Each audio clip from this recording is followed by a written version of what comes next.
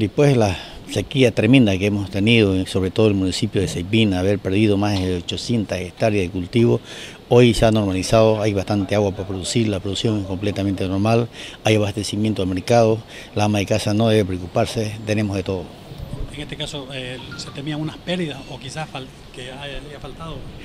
Bueno, anterior año, eh, digamos, hemos perdido bastante, ¿no? Son 800 hectáreas de pérdidas, más de 8 millones de bolivianos han perdido los pequeños productores, sobre todo el municipio de Saipina fue el más, más afectado porque se secó la represa, se secaron el río, se secaron todos sus cultivos que tenían en producción.